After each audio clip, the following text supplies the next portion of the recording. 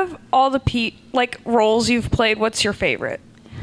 Well, I have to say Azula because she's been such an influence for so many people and a and a gay awakening for many people and and um, just she's the one you love to hate and um, it wasn't my fault. My own mother thought I was a monster. She was right, of course, but it still hurt.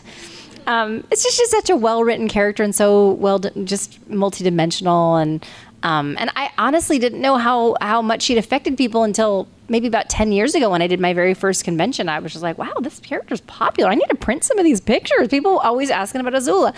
And um, and for me, it was like such a short time in my life, and I hardly ever recorded with the rest of the cast. I would I would go in and just do my parts and come out, and um, so I I I had no idea that even Mark Hamill was my dad. I was like, oh, like on Twitter, he was like, your father, uh, your, uh, I was, and I was like, oh my God, yeah, I forgot. Yeah, you were, I saw you in the lobby.